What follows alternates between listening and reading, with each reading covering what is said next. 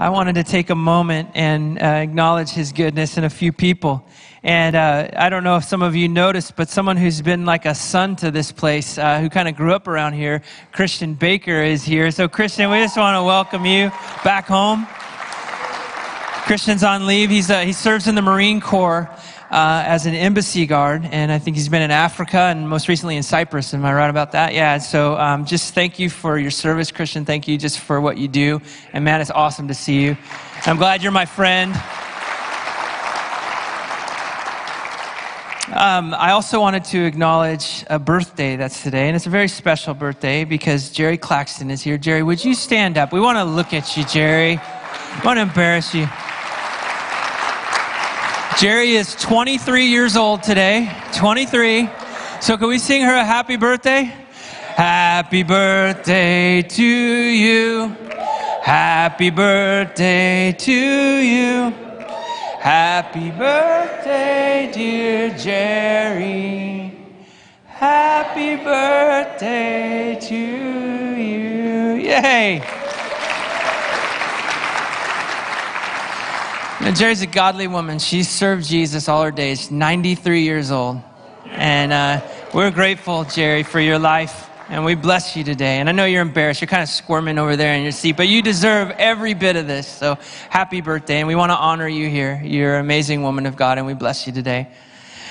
Um, I have one more announcement as well. Um, uh, several, about a little over a month ago, we got a phone call from a, a, local radio station, a Christian radio station, and they wanted to interview Rochelle and I. And so um, I'm so grateful for a wife who's intelligent, who, who saved the day, because they're like starting to talk to us. Uh, so tell us about Bridge Community Church. I'm like, uh, it's uh, like it's uh, awesome. My wife just comes in in the clutch with intelligence and eloquence. And so, anyways, they asked us to let you know um, about the radio program and uh, if, you, if you're interested in checking it out, it's KBRT, um, AM 740, 330. Um, and we got to be with um, Roger Marsh. He's a very cool guy, by the way. And so, anyways, I wanted to let you know about that. Okay, take it away. It's a little embarrassing. But um, it's cool to see what God is doing here and, and, you know, that they were interested in hearing what the Lord was doing. And so um, please take a moment if, if you're interested in that, 3.30 on Thursday.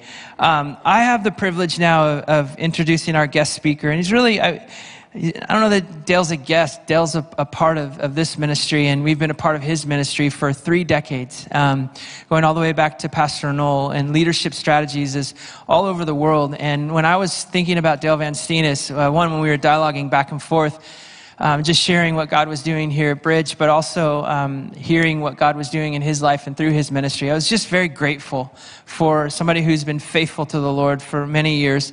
But the thought that occurred to me is um, we love that we have the privilege of supporting missions um, outside of who we are, those that are doing the work of the gospel all over the world. And we try to find people who, um, who have like vision and who are heading in the same direction. And Dale Van is certainly that. He is a bridge in the nations. Um, God God has given him influence, He's given him resources. Uh, I love Dale's stories because it's one story after the other of God's faithfulness. And so, if you know him, um, you're excited. If you, if you don't know Dale, you're going to get to know him today. And um, so, would you join me in just welcoming Dale Van Steenis, uh, one of our missionaries that we support? Thank you, Pastor. Appreciate it. Well, good morning, everybody. This is the only church in my history that supported me since I was eight years old.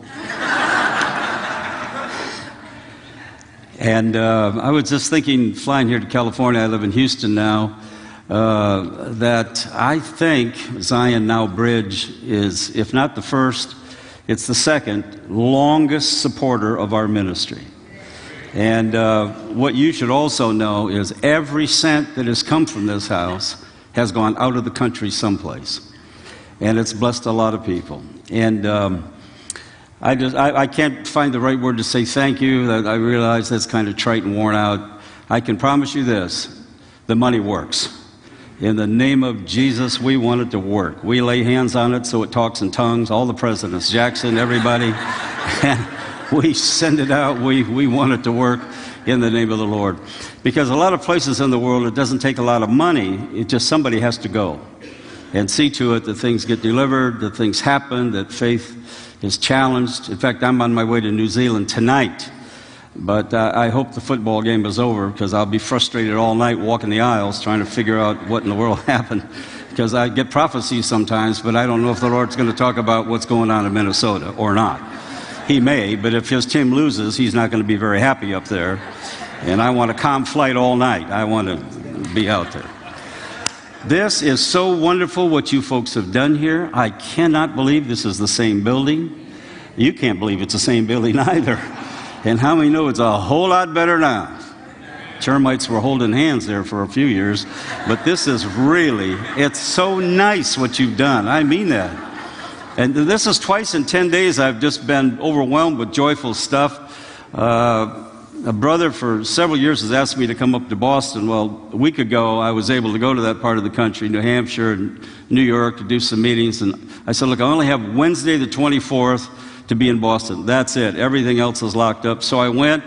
And this brother is, he's really never said much about his church except, well, you know, a few people getting saved and the Lord's blessing us, sort of like that. Well, what are you to think? I, I, I didn't know this man. So I went up there and he said, Oh, you'll find us. We're at such an ad. You'll see the building, all right. He's running just under 10,000, so he's doing all right. He's, he's, you know, for a pioneer church, not bad. So it, it just, it was such a joyful, not about the numbers, but how many people have come to Christ. In Boston, how many know that's not easy country? It's just wonderful. On the right and left, people coming to Christ. So I want to start today with you by saying first, thank you from my heart for all you've done and continue to do. We're so appreciative when you drop those bucks in the plate because not only me you support, there's many others, and your money's going somewhere to do something good for Jesus. Second thing I feel to bring to you today is corporate. It's for those of you that are part of this family here. Uh, I've been praying every day for several days about being here today, and there's just one issue that keeps coming up about this house. And uh, not only have you built this building, a house for God, but now He's going to help you build this house for God. You know what grace is on this place now? Harvesting harvesting, in gathering is coming on this house. Because there's all kinds of prophecies and prayers prayed years back at the very beginning. I remember sitting with, with Noel at lunch and hearing what was in his heart about the future, and that hasn't happened yet. And how many know God spoke to him those years ago? Which means there's a fulfillment at the other end of this. So, buckle yourself up. I think there's some wonderful day ahead, days ahead. You're going to see a lot of new faces. Is there any faith in here this morning? I said there's going to be a lot of new faces. Somebody's going to be sitting in y'all's pew. That's a terrible word for a church seat. Pew, isn't it? Pew smells like something smells, but but somebody may be parked in your space. What a good thing that is. We got to move over because I was in one church, this is absolutely true, in one church where the pastor said before he announced me to speak, uh, those of you that have been longtime members here, in this certain month of the year, please go away. Any church you want to visit, just go. Pay your tithes over there, and here's why. By our phone calls and, and text, we know there's just heaps of sinners that are trying to get in this building and can't get in here. You're already saved, so you're safe. So go somewhere for the whole month. I pray that happens at Bridge that there's traffic jams in front of this place. Amen. Come on. Because there's not too many things make God, God happy. Praise, like we've been doing here, pleases Him. But when somebody gets saved, man, the, the angels rock and roll in heaven. And I want to make heaven happy. How about you? Well, I want you to see today, and uh, because of electronics and all the technical stuff's available today, it's wonderful. Uh, one of our little projects your money's invested in what you're going to see here. It's, I think, five or six minutes. It's from the little country of Moldova. It's last February.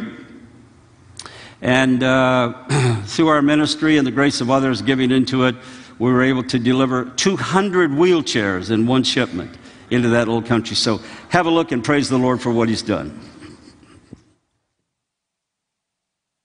They're not speaking in tongues. But that's not this.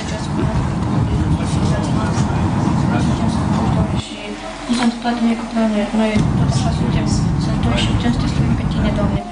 Și Mulțumesc pentru tot nebinecuvântat la școală, Doamne, unde a fost și a fost cu bine, Doamne. Binecuvântează, te rog, cât voi fi aici, Doamne Iisuse, ca noi să putem fi ascultători de cuvântul Tău, Doamne Iisuse. Binecuvântează hrana aceasta, binecuvântează bucătăresile care au făcut-o. Fă că noi să ne întărim fizic, Doamne Iisuse, și moral.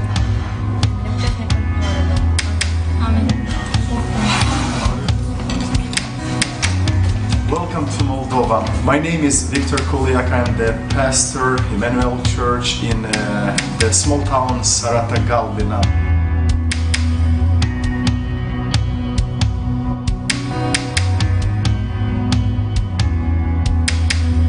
As a church, uh, uh, we saw the need to serve the elderly people in Moldova. In the beginning, we was just helping them with the soup and some uh, some clothes, and then one day we realized well that is not enough. We was uh, we, we saw the elderly people who was frozen almost to death in their apartments, houses. Some of them was uh, uh, was uh, was bitten by by rats and that uh, and that touched us so much so we decided next to the church to organize a place for them so we can help them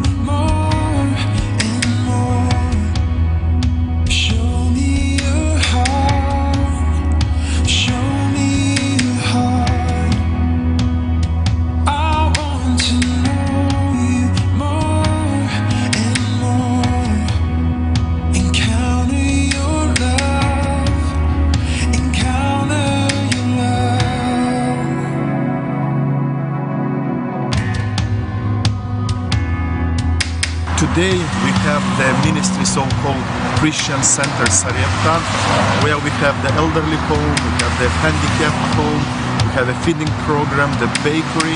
But all these ministries, they was uh, uh, they had a start because of the need. We go to God and ask blessing from Him, because if you have blessing from God, that is everything you must have in your life. Our ministry has been visiting Moldova since March of 1991. In those days, it was very, very difficult. Strong police presence, poverty, uh, lack of churches, uh, lots of restrictions on preaching the gospel. Today, things are free. There's churches being built from north to south. They're full of people. And additionally, and uniquely to the churches in this country, uh, is very strong social support to meet the human needs of the population because the country is poor. Today we have the feeding program, also ministry, where we feed the poor kids who come after school to our church. We have around 100 kids. They are from different families. Most of their families, this is the destroyed families. The parents, they are divorced. They live with the uncles. They are not good in the school. And our goal as a church to invest in them and to bring them to Jesus and also kids who come to the feeding program at the end of the program we give them the bread and they are taking taking home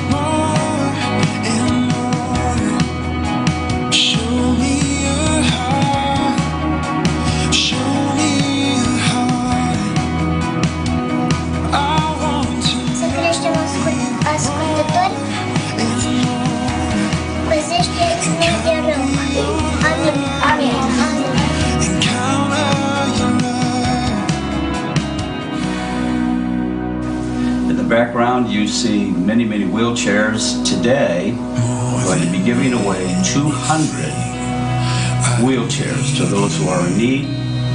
And uh, we've been able to partner with the Wheels for the World Foundation, which is sponsored by Joni Eareckson Tada. Uh, they provided the wheelchairs for us. Our ministry shipped them here to this country, and we partnered with a local Pentecostal union in country for the distribution. It's an exciting, tremendous day. We're happy that you're able to see part of it.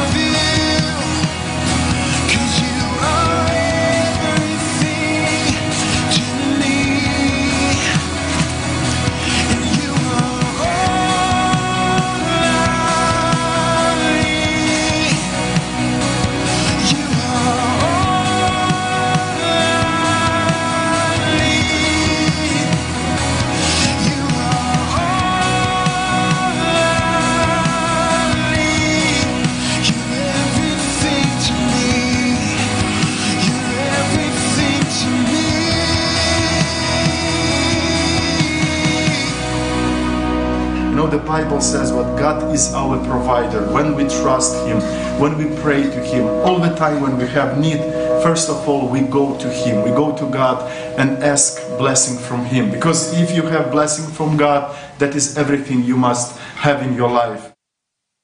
Amen. Amen.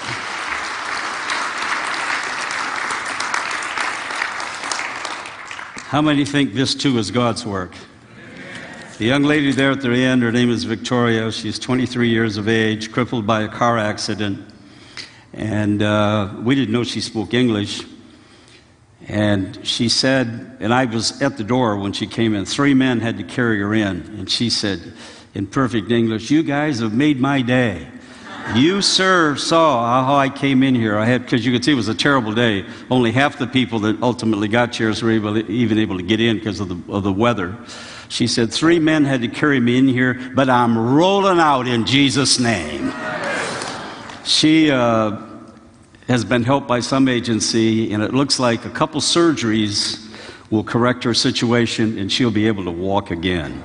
So let's believe that the Lord will just finish that up. There's a backstory to this, and I've got to get to some teaching for a while, but these kinds of events are warming the hearts of governments. At this event, uh, we just wanted to show a little bit here so you could bring you into what happens.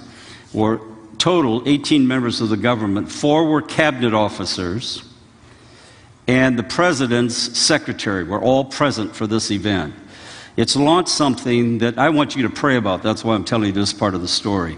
I've been to a lot of government lunches where I'm uh, suddenly urged to go to the toilet and look for a door out of the place quickly because there's a lot of noise and nothing of value is really being said. But this time, it so touched people at the top level of their government. The after lunch, which we hope is not longer than 30 minutes usually, lasted two and a half hours because of them, not us. And here was the question How can we in this communist country build a moral population? How can we shape young hearts so they'll be willing to give, as, we've seen here today? And on and on and on. How can we build a righteous nation? I mean, those are good questions, all the way from Socrates till now. What's a just man? And now there's already been one meeting from this young man you saw, Victor, is a very young, influential leader in the country. Uh, and there's already been one gathering with leaders that you saw here and others, and the government spending a whole weekend. I'm talking about the president and the cabinet with Christian charismatic leaders discussing those questions. And at the end of our luncheon, uh, the bishop of the area, who's my dear friend, in fact, our, our mission uh, supported him in the U.S. for his training and so on, so we've invested in him. And uh, when we started with him, he had 10 churches. Now he has 413 and on the way to 500. So they're, they're, they're on the move. These guys are not letting grass grow under them. It's wonderful to be part of all, you know, just be around watching it happen. It's just wonderful. Uh, but they've, they've been away for a whole weekend together discussing these kinds of issues. How, and the bishop answered this. He said, well, Your Honor, we, we're, we're not experts in economic theory, so don't ask us about how to run the country when it comes to that. He said, I've lived in the U.S., so our system here and theirs will both fail ultimately because they're not based on biblical ideas. But so you know what's brought us where we are. It's like this. We believe there is a real person called Jesus Christ, who not only was, he also is. He's present, and guess what? He wants to know us, and he wants us to know him. And if you get that piece in alignment, get it right, you get things like happened here today.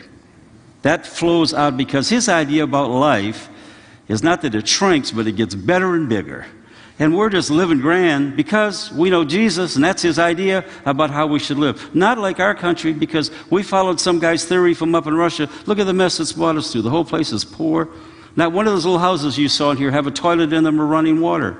Not one of those kids you saw have decent clothes. They have to come and be deloused every week. All the clothes are new. They came from this county. I know, we sent them. There's no kid that you saw at those tables even comes from a Christian family. But by May of every year, 80% of them will be followers of Jesus. Listen to this every public school administrator in the country has to come to Victor and others for two days training twice a year by fiat from the Federal Education Department to learn how to grow successful moral students.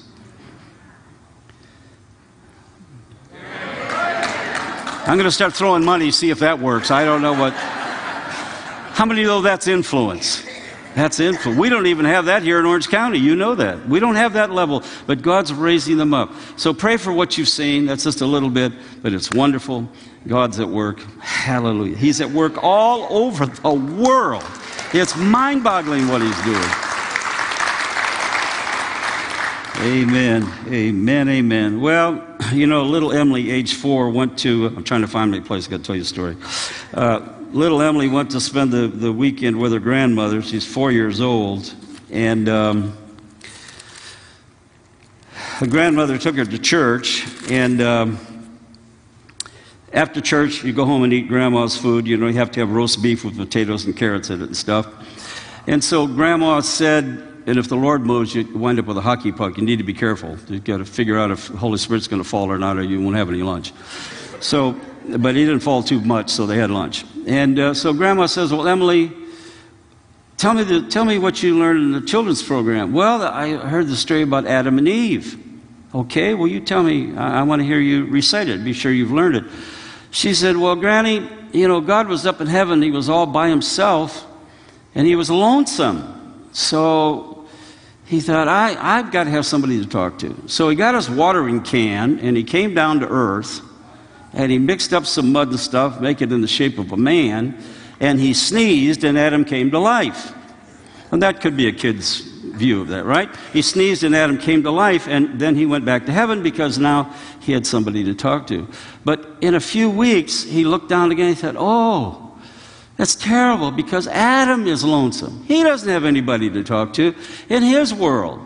So God got his watering can and he came back down to earth and he put Adam to sleep and he took out his brains and made a woman. so, come on, sisters, there should have been an amen behind that one. You ought to be dancing in the aisles by now, baby. Come on. All right. That has nothing to do with what I'm going to say. Just, but it was a cute story, wasn't it? You can turn to 1 Kings chapter 17 and just a few pages more into 2 Kings chapter 4. I want to share with you today about getting your life unstuck. Being locked up by the circumstances of life this, may not, this word may not be for everybody today, but it's for somebody. Where the circumstances of life have just locked you up. And even through prayer and some, maybe some fasting and getting godly counsel, that obstacle in your way has not moved. Well, here's some good news. We've never ceased living in an atmosphere without miracles. There is a natural world that has all kinds of issues connected to it. But there's a supernatural world. How many know church budgets can run out of money? But kingdom budgets never run out because God is the resource. So somehow, what's the bridge between that world of all we need and even overflow? He anoints my head with oil, my cup shrivels up. Is that what it says? No, my cup, say it, it, it overflows. Yeah, that's right. That's his idea. And so I, I just want to lift a couple of stories you know very well from your study of the Bible and see if it may not make some sense and raise our faith for today. In 1 Kings 17, uh, we have two prophets and two widows. 1 Kings 17 is Elijah, and the short scope of the scene is this Ahab is the king. How many know he's a bad guy? Worst king Israel ever had. He's a bad guy and it's time for God to put the screws of judgment on the nation because of him, because of his terrible leadership. And so God rose up Elijah with a voice. And how many know these Old Testament guys didn't live long, most of them? Because we tend to kill prophets. We don't want to hear, Thus says the Lord. Bam! Get rid of that. Because it's convicting. And it always means there's push and shove and pain and smoke around these kind of guys that, that, that are really defining the lives of nations. So Elijah prayed, and he prayed that it wouldn't rain. And guess what? It didn't rain, and pretty soon his water dried up. Little side point be careful what you pray for because you may be a partner to fulfilling your own prayer. That's what happened here. And so let's just quickly run to verse 7, 1 Kings 17 7. And it happened, happened after a while, the brook dried up because there was no rain in the land. Thank you, Elijah. And the word of the Lord came to him, saying, Arise and go to Zarephath, which belongs to Sidon, and stay there, because I've commanded a widow there to provide for you. Now, just reason with me for a minute. How many think it makes pretty good sense that if you're Elijah and you know how to hear the voice of God really clear, and when you declare that, the whole nation gets tied up drought wise, and then God says, You need to move because your supply here is over. There's all kinds of teaching that's good in that, but we don't have time for it this morning. What happens when the supply dries up? It's probably move time. And we shouldn't fight it, we ought to flow with it. If this is not functioning, let's not just say, I command the devil, rebuke the devil out of this mess. It wasn't the devil at all. It's God at work. And so we need discernment to carefully value what's happening in the moments of our life, do we not? How many think it's reasonable that when he, Elijah got to Zarephath, he should have expected a Walmart with a super grocer on the end of it? Or something. Maybe a mini market 7 Eleven, but something. You go there, and I've established a widow to look after you. What does that mean? Food and water and board and whatever. Would, wouldn't you think that? Would, would you not? I don't know about you, but when I get a good prophecy over my life, I try to immediately fill it. Especially if it's a good one. Come on. Yeah, the Lord says there's Maui in your future. I am going tomorrow. Thank you, Lord. I appreciate that assignment. But how many know God, God wants to do His own thing? When He speaks, we, we need Him to fill the blanks in of, of what we don't understand. So Elijah gets up there. That's not what he finds. It's not an excess of resource, it's everything but. So let me shrink the story. He finds the lady, and he said, Would you give me some, go get, get some water, please? She's on her way. Just a minute. I want some bread too. I'm not only thirsty, I'm hungry. And her answer was this Well, here's what I've got a little flour, handful, scripture says, handful of flour, and a little oil, and I'm going to make a cake, give it to my son, and then we're going to die. Now, there's several ways to translate that. She might have been a lousy cook. You don't want to eat in her house. A lot of insurance paid, you eat there. You know, my wife, who departed this world 4th of December 16, grew up in very favorable circumstances as a child. There was a hired cook in the house, a hired, a hired housekeeper, a person to drive her and her sisters to school and back, and all of that. I was raised in an old fashioned European home. Guess what women did? Cook, baby. Come on. Calories. Cook. Cook. Mm, that's not an English explorer. That's a righteous woman. Cook. We never had anything but heaps of food. I mean, the farm mind came to town. You couldn't just cook for four people. You had to cook for 14 people and hope somebody showed up to eat all of it. Always desserts, always. And then I married this wonderful Canadian girl who could boil water pretty good. I was losing weight. She knew microwave really good. It was awful. And I was, I was so in love with her, but I was dying. So I called my mother. I did. And I said, Mother, she said, Son, you sound weak. I said, I'm on my last legs, Mama. you sound like you need help. I said, Oh, you don't know what I'm into here. This is bad. We're spending half our salary going out to eat. It's the only hope. I said, I need you to come out here and stay for about three months. She said, What do you want me to do? Cook, Mama. That's it. Teach this bride of mine how to cook. Okay, we'll come next week. I said, Oh, thank you, God. So, so the, the little condo we had, there was a serving window, and I'm looking through, and my wife's boiling water. And uh, I said, Honey, I want you to listen real close. She said, Yeah. I said, Mama's coming. Oh my God, what am I going to do? I said, You're going to learn to cook.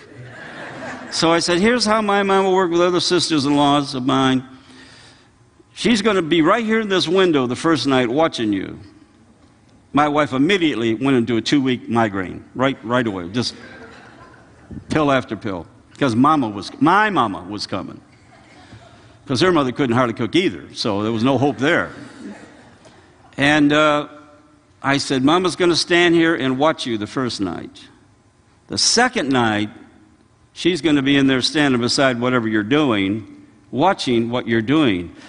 But the third night's like the resurrection. She's going to say, Honey, let me help you with that, and in the name of Jesus, let her help you. So I'm alive and well today because Mama rescued me from that. But my wife all of a sudden took to cooking. Then we have cooking classes, and you know, some things came out, how shall I say carefully? Experimental. How many know what I'm talking about, brothers? She's going to try it, but we lived through all of that. so here's Elijah. We're going to we're going to make this up and we're going to die. And he said, I'm sure. Well, if you want to eat and die, go ahead. But before you do that, bring it here to me. And if you do that, you're not going to die, and your flour's not going to run out, and neither is your cruse of oil. Now, I want you to listen really close. God did not change the size of her containers, He changed the flow rate. There is a place where the supernatural touches the natural, and the natural becomes supernaturally enabled.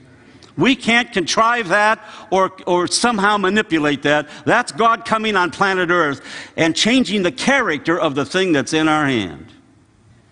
Same thing in, in 2 Kings 4. Now we have Elisha, widow with a little different circumstance. She's a widow.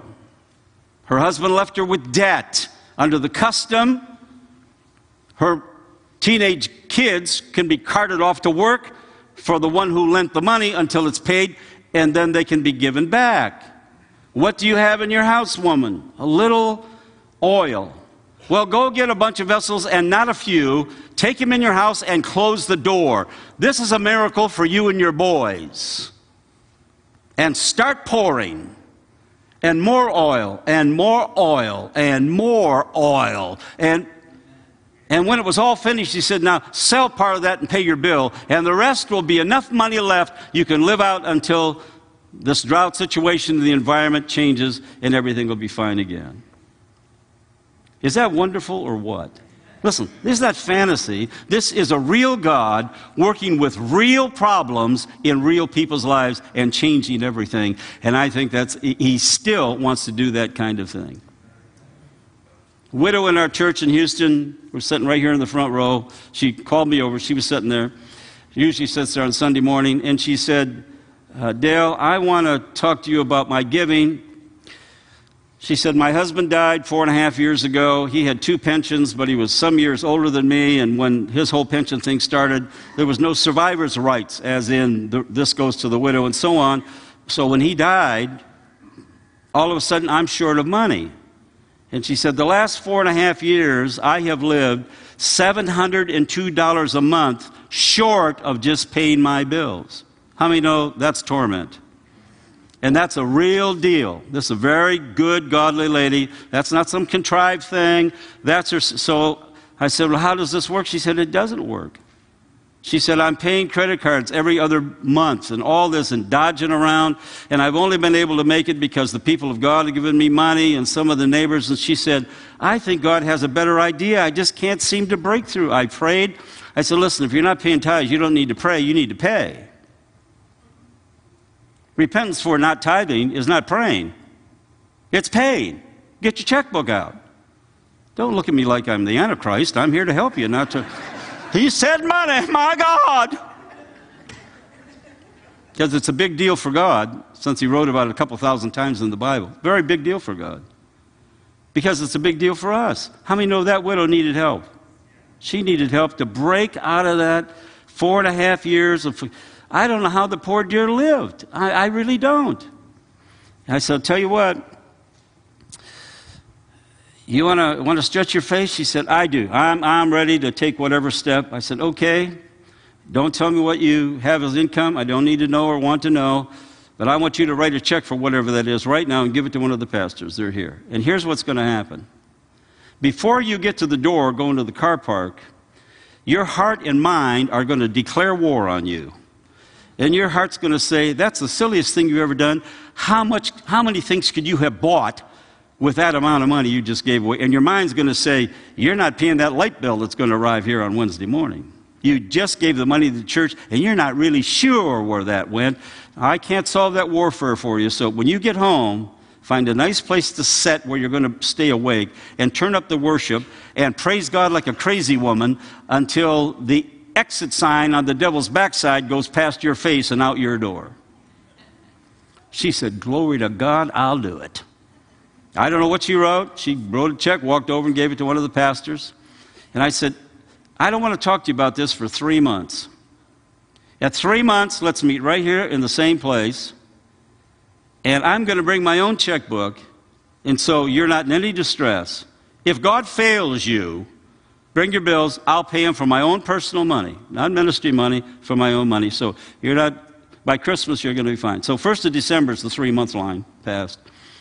She said, Glory to God.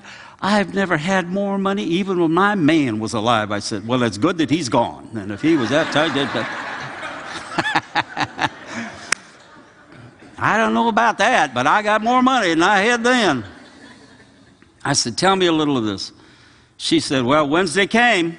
And she said, You're right. I got to my car. My head is just, that was stupid. And you know whose voice that is. How many know that didn't come from heaven? It came from somewhere else. Beating her up and all the rest. She said, I went home. And then, it, then he made me mad. Don't make me mad, devil.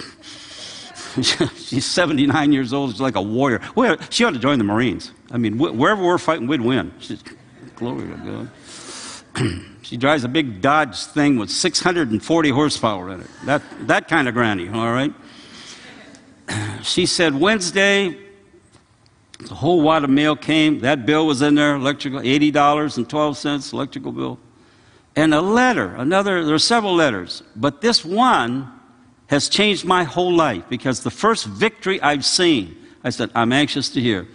It was a letter from an insurance company of my husband's. You know, he's dead four and a half years. And it said, Dear Mrs., whatever her name is, said, Every five years or so, our company does an internal audit on all of our policyholders in your region, in fact, all over the country. But in your region, we have 57,000 policies in effect. We have found problems with eight of them, and your husband's, your late husband, was one of those policies. And uh, we overcharged your husband, I don't know, it was $8.22 or $8.12 for X number of years. And it was a computer mistake. We're sorry, but it's our responsibility. So the attached check is a return of all those overcharges. And because we did it, we're paying you 7.5% interest. And the check was $1,890. Now, how many know that'll change your view how many know as a kid we used to sing, He's able, He's able, we know our God is able? He is. That's a fact true about God. And she said, I've had come through my hands almost $6,000 through the mail. She said, My husband loaned somebody $1,000 about 25 years ago. Three weeks ago, that man knocked on the door and said, I'm a little late, but here's the money and interest on it for all those years. Lord, help faith to rise up in here. How many know that's a real God working for a real saint with real life? I'm not talking jive here. This is getting God involved in the nits and grits of our daily life. And a lot of it has to do circumstantially with the material world and how we respond to it. So you pour that oil. So, so let me quickly just give you some principles. How do we get from where we are, if we're stuck, to over here where there's abundance and free flow? How about James 1, verses 2 to 4? Count it all joy, brethren, when you encounter various trials with an S. How many know if you've served God more than a week, you've had more than one trial? Stuff, stuff comes. Stuff comes. But how should we, listen, First, I don't like that verse very much, and, and I don't fully understand it very much. So give me some freedom here. And how many would say that that word joy shouldn't be on the same page with many trials? That somehow that. I mean, if you're going to give your husband or wife a beautiful present, you don't stop at the end of a sewer line and let it put four gallons on there before you deliver it. Because whatever that is, and, and, and so there's this word joy, which means a gift from God of an internal sense of well being. How many know one of the fruits of the Spirit is joy? Not, ha- not, ha- not laughter, but joy. An inward sense of well being, like the old gospel song. It is well with my soul. When there's tempests and tor- all rest, but in my soul, peace rules. That's it. That's it. That's it. It's well with my soul. Because count it all joy. Why? Because when this endurance thing, God's working internally in us. He's working. And when this endurance is finished processing, here's verse 4 the, the fruit of what God's trying to grow in us. You're going to be perfect, nice word, which means mature and complete and lack nothing. So the trial route is the pathway to abundance. Maybe said another way develop an attitude of gratitude. Start thanking God for the dark days. That's not normal. That's not normal. And that's exactly what God is trying to get us to be is supernatural, depending on his strength and power. Secondarily, the material for miracles are not outside our lives, they're in our house. They're in your life right now. I believe that.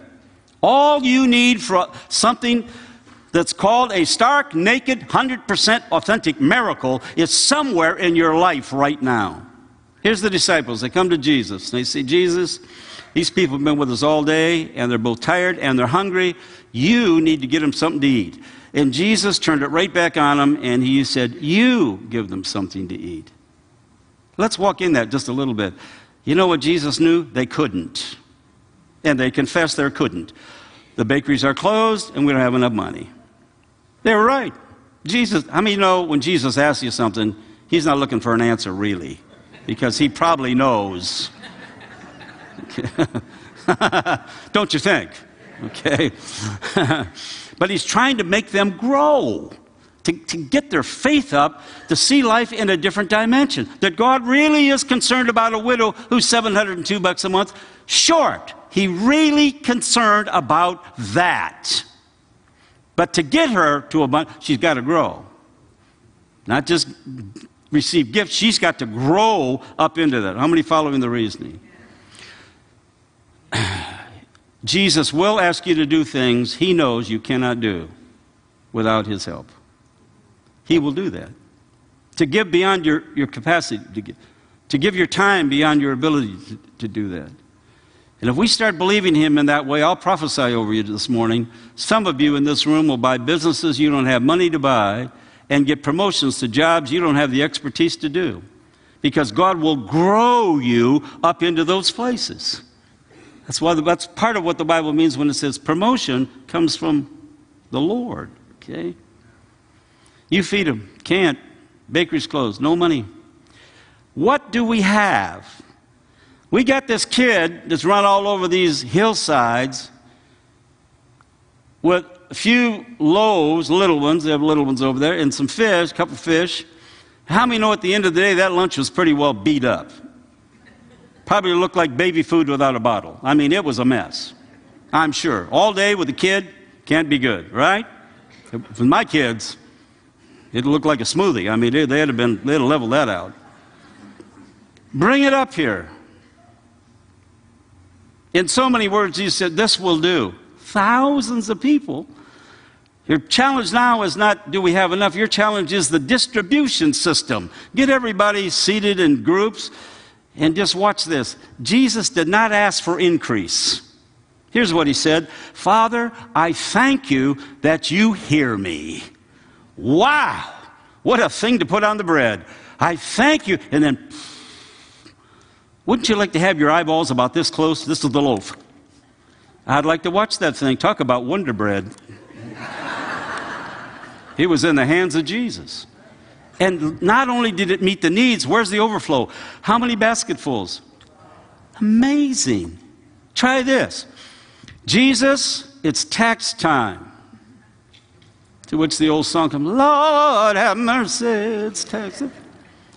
And here's the answer of Jesus. I- I- let's go take a walk down by the lake. What? We're talking about taxes. Jesus takes off. And they get down there. He said, This tax, yes, tax day. Why are we doing exercises for when we need money? Well, watch this. Hey, Brother Bass, get your bad self up here on this beach. Wow! Look at its mouth. That's not fantasy. That's a real Jesus in an extraordinary, supernatural way, bringing money in the lives of his disciples. Now, if he did that, and I believe he, he did do it and can do it again, it doesn't have to be fish, it can be any number of ways. I think all those stories taken together tell us he's able. He'll find a way to take what's in your life and add that multiplier effect and make it wonderful. You don't have to look elsewhere. Say, God, give me discernment what's in my life right now that will get you working to uns- unstick my life, to get me loosened up and free again. Because this kind of mindset is not about getting more money in our plates. It's about getting you and I free so we can be lavishly generous to the kingdom of God. Is there an amen on that one? Thirdly, we want to be sure that we don't magnify the problems of our life above God's sufficiency to take care of it. Because the more we fuel the problem, the bigger it gets. Until a very small problem can become so huge in our thinking, it's very hard to find any faith to overcome it. It's true. Well, how many know if we start with Jesus, we don't have to conquer that mountain because he'll get it in perspective? Turn your eyes upon Jesus. Look full in his wonderful face. And the things of earth will look strangely dim in the light of his glory and grace. So, my recommendation, dear friends, start with Jesus, not the problem. Let's get intimate with him, overwhelmed with him, then let's have a look at the problem before us. Not to deny there's not one, it's just to acknowledge he's bigger than whatever's out there in front of us. Fourthly, or wherever we are, we need to have an encounter with God over these things. I'm not just talking sideways to you. And once we have that encounter, then walk out in faith whatever God says. As I mentioned earlier, my wife had been sick for three years. I was her caregiver. I stopped traveling almost entirely. Just, I mean, I hardly went out at all. Maybe for leave on Saturday afternoon, I'd be back Sunday night, that kind of thing. She had Parkinson's, Lewy body's dementia. We were told by the best experts here in Orange County that she had eight to ten years to live, and the last year or two would not be very nice. She'd be bedfast and need total care. That's what we were told. I think that's rain on your party. It was the death notice for my wife of 46 years. Now, how are you going to respond to that? I'm going to tell you a story. This just happened, 2016, and the diagnosis before that. My wife, many times, has been here to this church and loved it. So we prayed. People prayed all over the world. We prayed. I stopped traveling, was committed to my wife. I'm not here with one complaint about those months of caring for her, uh, sometimes all through the night and all of that.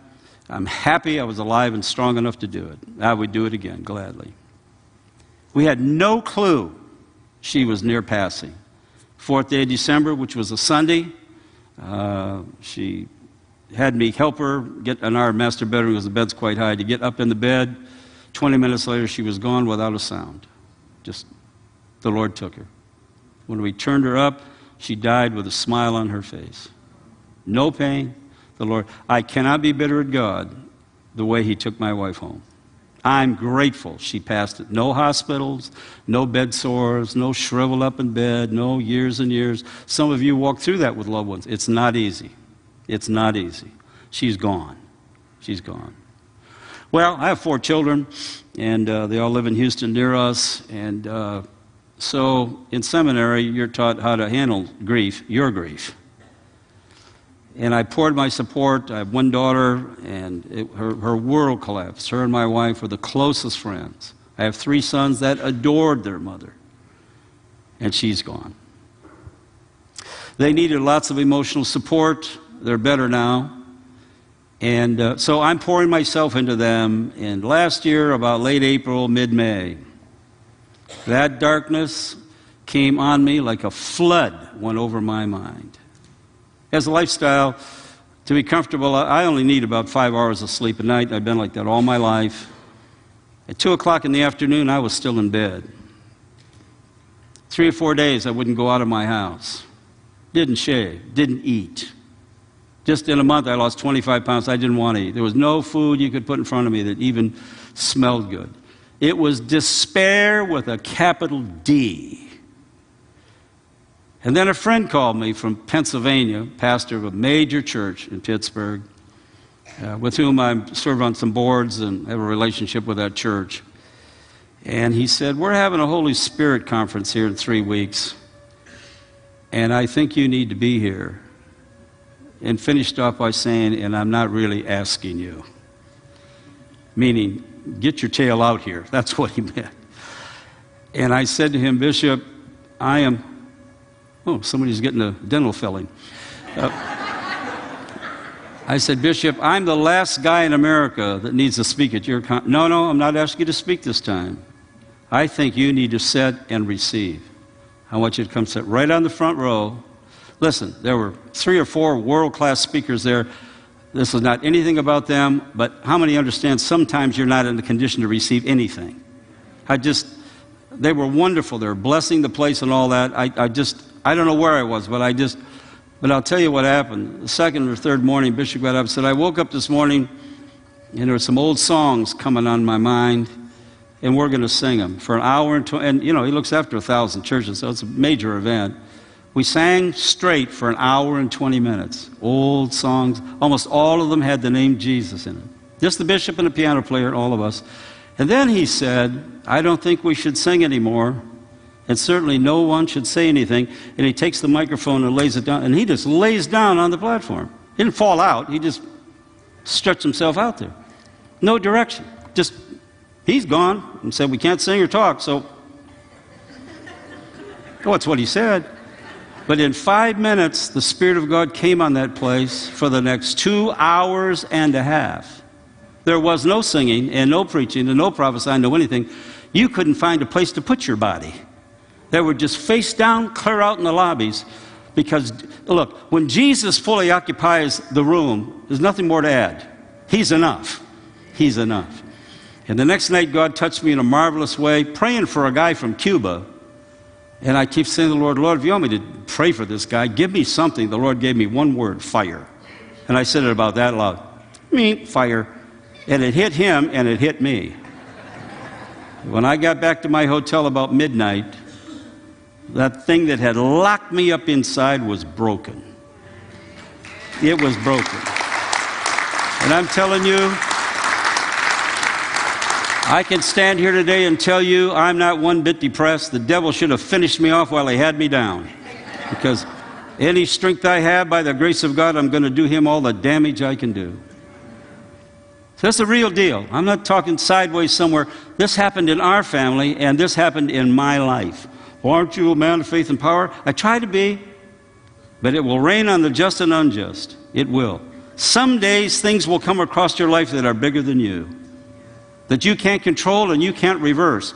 But you can decide how you're going to respond to that. And with the bishop's help, I decided I'm going to run towards God. I don't feel like it. I don't really want to, but I'm going to run towards God because this Bible says, if you come, I'm going to meet you on the highway.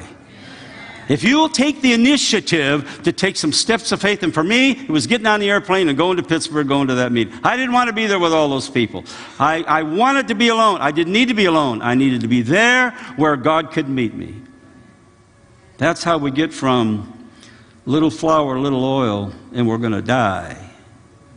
He doesn't change the container, He changes the flow rate. That's the supernatural piece. So, what you've got is enough for God to build a miracle on. Before I turn the service over, it- it'd be really wrong to not give an opportunity to pray over people that may be locked up. Maybe you're going through grief. Maybe you've recently lost somebody. When I say I understand, I understand. Not only did we lose my wife five months before we lost my mother in law, two deaths in one year. It hadn't happened in 40 years in either sides of our families. Wonderful woman, my mother in law, matriarch of the family. We lost her as well. Huge year for losses on the physical plane, but a huge year of growing internally on the spiritual plane, responding to God's grace where we didn't have the strength to even smile or clean ourselves up some days. God came and restored all of that. He restored all, brought my joy back again. Our ministry has exploded exponentially two or three times more. I didn't ask him to do that. It just, just more has come. You saw part of it here today, and there's a lot more that could be said. So maybe, maybe you're like that widow that's just short. You can't quite make the budget work.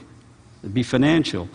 Maybe for you it's been emotional, as I described out of my own life. I promise you, he's as real as his name and the Bible that's in your lap to take you from point A to B. If we can just allow him to let that supernatural multiplier come on something in our life and take us to another place. If you want that kind of prayer, I just want you to stand up and we're going to have a prayer before we turn the service over. Come on, it's not for everybody, but if that's you, you want that, look at this, all over this room. You know, it might be good. Look, if you're a visitor, just join us. We don't, I, I don't know you because I'm a visitor too. But uh, I'd just like you to agree with one another. You pray for one another, and I'm going to pray for the whole house. Then we're going to turn the service to Pastor. Go ahead, find a prayer partner right there, and just ask God to meet their need. If you're a visitor, someone will pray for you. And don't, don't feel embarrassed. Just, just turn to someone right there. They'll think you're a member now anyway. So just, just go ahead. That's right. And you go ahead and start praying right now. Just all across. What, what for? That their needs will be met. So, Father, we thank you that there's voices from the front to the back of this room this morning. And we're saying to you, we need help. And you're the help we need. I do understand, Lord. I do understand the dark places. I do understand the darkness that can come over a soul and a mind that is suffering losses or that's locked up. But your expressed will today is you take us from striving to thriving. You took these widows, and they not only had enough, they had more than enough, and you brought them to overflow. That's my prayer as our hearts are knit together this morning in this house. Lord, this house is not only full of your presence, it's full of promise, it's full of future, it's full of hope. And I decree and declare those things over my friends today. That today will be the first day of a brand new season of life for them. That life isn't over and their circumstance will come to a sudden end when God puts his finger in the middle of it. You'll turn darkness to light and sorrow to joy and tears to singing. You'll do it because that's your way. So, God, show us the way. Give us a word of discernment. Give us that encounter beginning today. May my friends, when they go home today, not only enjoy the sport event today, but somewhere along the day, touch them so they're aware that God is intervening in the stuff of their life. Now, join me in one more act. Raise your voice up, and I mean not a little one, and let's give God a thunderous praise for what's coming in our lives. Come on, raise it up. Praise God. You, God. Hallelujah.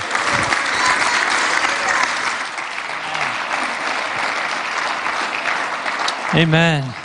Amen. Dale, I want to thank you. And uh, what I've always appreciated about Dale is he listens to the Lord and then he brings what God puts on his heart. So can we just thank Dale once again for sharing with us today?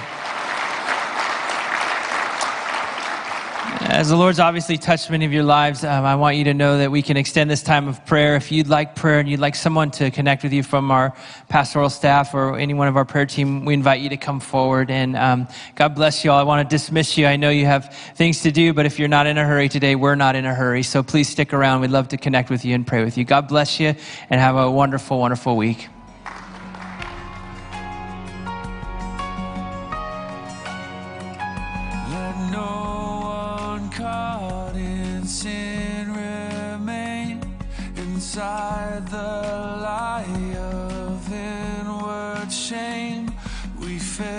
Our eyes upon the cross and run to Him who showed great love and bled for us.